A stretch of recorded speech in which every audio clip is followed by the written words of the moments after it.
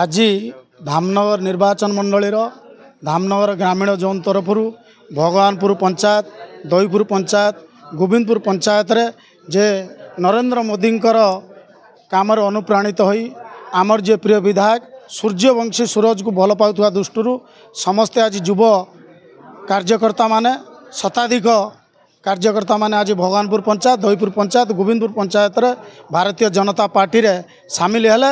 ଏବଂ ଆଜି ସମସ୍ତେ ପ୍ରତିଶ୍ରୁତିବଦ୍ଧ ହେଲେ ଯାହା ଦଳର କାର୍ଯ୍ୟ ଦିଆଯିବ ସମସ୍ତେ କାର୍ଯ୍ୟକୁ ମାନି କାର୍ଯ୍ୟ କରିବେ ଏବଂ ସୂର୍ଯ୍ୟବଂଶୀ ପାଇଁ କାମ କରିବେ ଆଗାମୀ ଯେଉଁ ବିଧାନସଭା ନିର୍ବାଚନ ହେଉଛି ଯେଉଁ ଯୁବ ଦୁର୍ଲଭ କାର୍ଯ୍ୟକର୍ତ୍ତାମାନେ ବିଶେଷ କରି ଭଗବାନପୁର ପଞ୍ଚାୟତରେ ମିଶିଲେ ସେମାନଙ୍କୁ ଦଳ ତରଫରୁ ଆମେ ଧନ୍ୟବାଦ ଦେଉଛୁ ଏବ- ଏବ- ଏବଂ ସେମାନେ ମଧ୍ୟ ଦଳ ପାଇଁ ସମସ୍ତ କାର୍ଯ୍ୟ କରିବେ ବୋଲି ଆଜି ପ୍ରତିଶ୍ରୁତିବଦ୍ଧ ଦେଲେ ଆମେ ହେଉଛି ନରେନ୍ଦ୍ର ମୋଦିଙ୍କର ଅନୁପ୍ରାଣିତ ଇଏରେ ଖୁସିରେ ଆମେ ବିଜେପିରେ ଥିଲୁ ଆଗକୁ ବି ଅଛୁ ସବୁଦିନ ପାଇଁ ବି ରହିବୁ।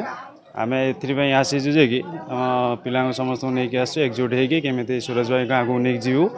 ଆଉ ଆମର ଭଗବାନପୁର ପଞ୍ଚାୟତରେ ଯେମିତି ବିଜେପି ସବୁବେଳେ ଆଗରେ ରହିବ। ଦଳ ଯାହା ଆପଣଙ୍କୁ କାମ ଦେବ ମିଶିକି କରିବେ। ମିଶିକି କରିବା ଆମେ ସବୁ।